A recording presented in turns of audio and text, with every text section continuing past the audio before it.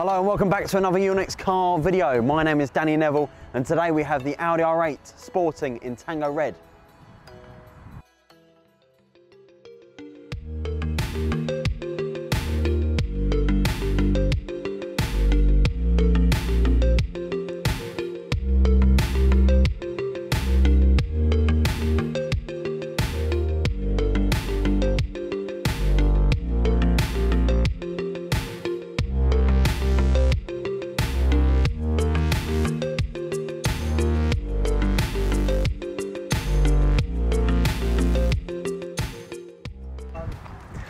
Absolutely love the rear end on the new Audi R8. I think it looks very aggressive, really has a, has a great stance, and you can see those rocket launcher exhausts at the rear, giving an amplified roar as you, as you belt down the roads.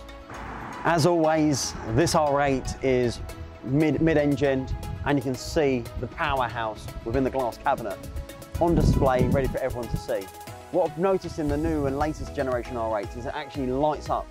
So they've put lights either side of the engine really highlighting and lighting up this masterpiece so you can see it evening and night time as well.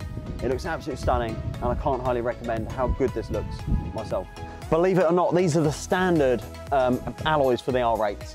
And as you can see here for the rear wheel drive version, they're five spoke gloss black alloys and they look really sporty, giving it much more of a racing car style and feel.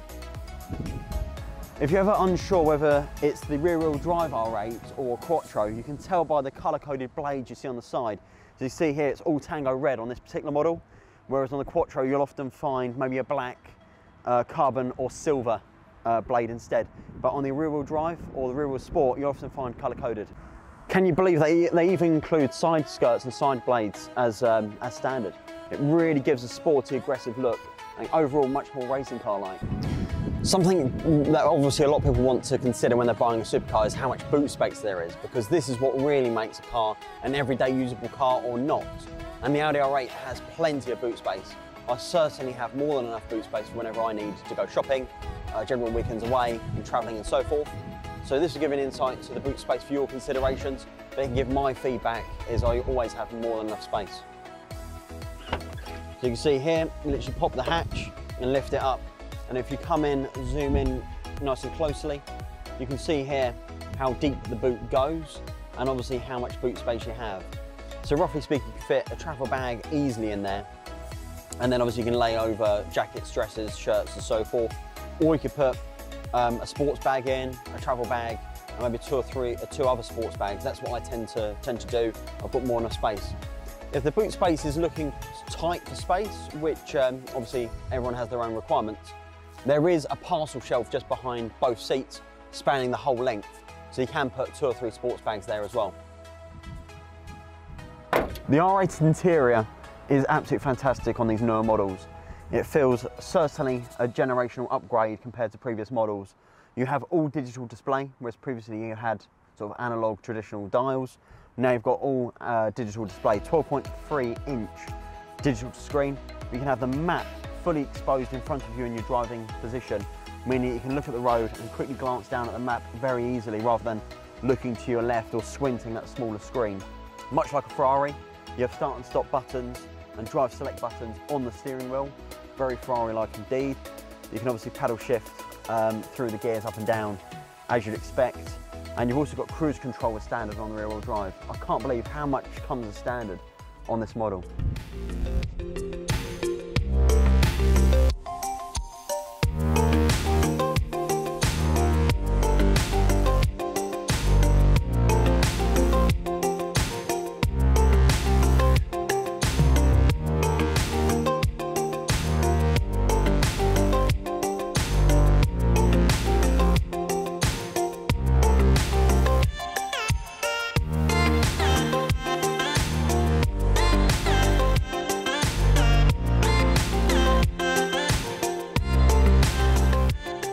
So as you can see here, you can flick through your radio stations, uh, through to the telephone. You can then scan over to your map and zoom in and out off the steering wheel, very easily indeed. You can flick over to your fuel consumption um, and memory as well. So whilst this car shows 17 miles per gallon as an average, I would say that um, is a little bit biased on a recent journey because I had obviously the, the camera crew in the vehicle. So uh, it's a little bit lower than normal. However, I'd probably say 20 miles per gallon is a bit more accurate. So uh, hopefully that helps when you're buying the car to give you an idea with miles per gallon. Um, then we move on to the radio stations, just flick up and down. As you can see here, I can't put the music up at the moment because I don't want to breach copyrights. And then you can flip through your calls here as well. So nice and easy. If you want a different view, click the view button and now you can have a more aggressive racing stance and then you can just flick through the menu options as you normally would as well. Easy as that. Let's hear this beast start up.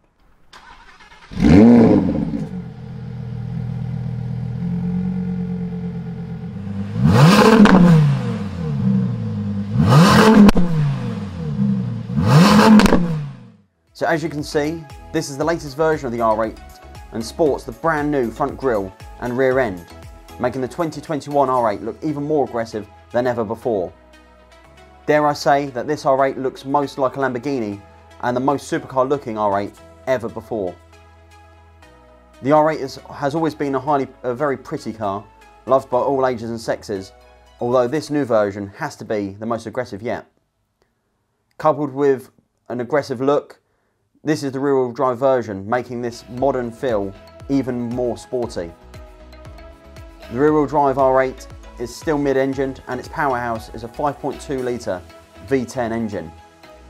You can really feel the power when driving this as you shoot from 0 to 60 in just 3.7 seconds. The speed is eye-watering and your passengers will certainly feel the thrill of the V10. Being rear-wheel drive, you have to be more alert and switched on Fun is even, even more easily achieved compared with the classic Quattro system. Topping out 199 miles per hour, you will certainly leave most cars, if not all, in the rearview mirror. The R8 is available in a few different variations, including the rear-wheel drive as you see today, the Quattro, and of course the performance models. You can also buy each variant in convertible if you wish to enjoy the orchestra of this V10 engine even more. Each variant differs in price, starting from 120,000 as you see here today for the rear wheel drive and going up to 170,000 pounds for the V10 Performance Carbon Black Edition. The Audi R8 is a beautiful place to be and you're very comfortable inside the vehicle. Uh, the interior is very high quality and particularly on this rear wheel drive model which you can see obviously on the dashboard as well. So overall you've got plenty of visibility, the wing mirrors are nice and large, the rear view mirror is, is big enough and you can see over your shoulder, over the engine bay, um, out the rear glass as well. Uh, and the actual driving view is really nice because it has a teardrop style away from the bonnet, so you can't necessarily um, see the end of the bonnet too easily. However, as it teardrops away, you can see around the bonnet area, meaning you won't hit anything either. Um, and obviously you can still hear the engine doing its thing, working and exercising the valves. 540 horsepower to play with and they're ready to gallop whenever you need. So we turn this thing into dynamic mode, which is the more aggressive setting on the R8. And you get a flavour of what this sounds like. The suspension gets firmer, the engine gets louder, the exhaust tone gets wider and, and a bit more of a roar. It certainly bellows.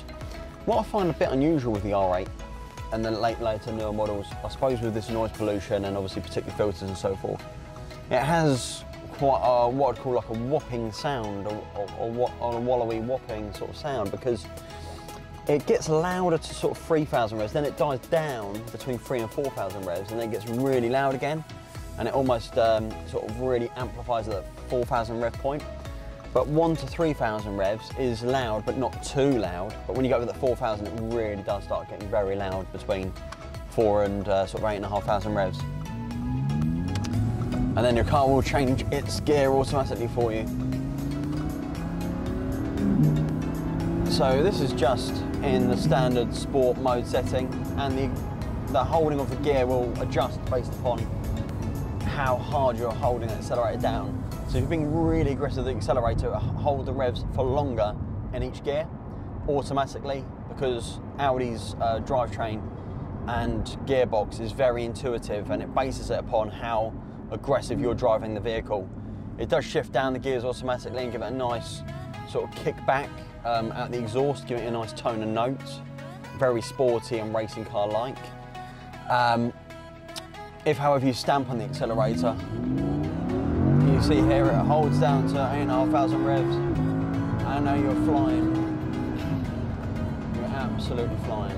And then it goes a bit more sedate again, making it fuel efficient and obviously adjusting based upon how aggressive you're accelerating, which at the moment I'm not really accelerating at all.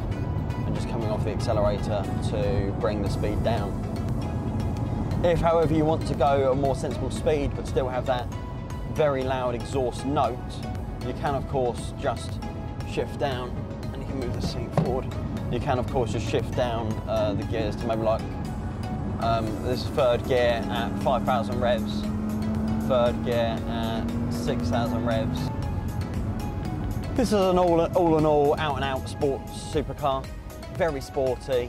Um, it's got the supercar looks, it's got the supercar stats, it has the supercar look and feel. However, if you want to drive it today, if you want to drive it a bit more like a normal car, you can. However, it certainly is not a normal car.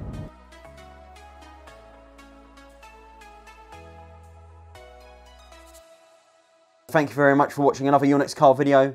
My name is Danny Nevill. Hope to see you soon. Take care.